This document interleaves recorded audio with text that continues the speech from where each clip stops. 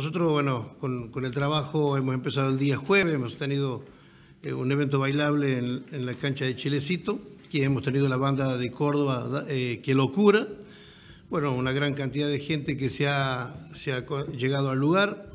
Eh, el operativo estuvo a cargo de, del comisario, el jefe de la comisaría primera, con su respectivo auxiliar y bueno, el personal subalterno que hemos cubierto el, operativo, ¿no? No ha arrojado ninguna circunstancia, como decimos nosotros, sin novedad.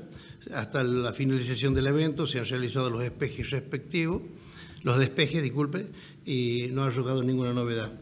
Luego, el día viernes eh, se ha llevado a cabo el evento eh, Navidad de los Cerros y fueron dos noches consecutivas, el día sábado.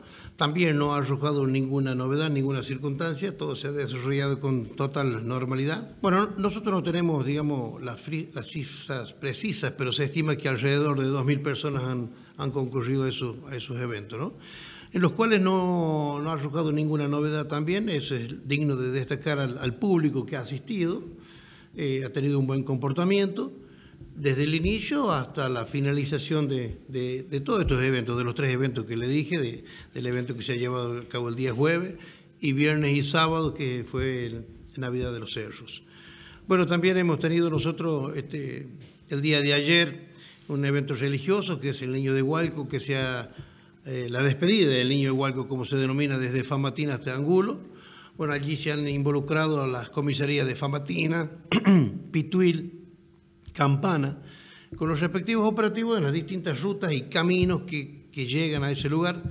Eh, gracias a Dios no hemos tenido registrado ningún accidente de tránsito, ninguna circunstancia.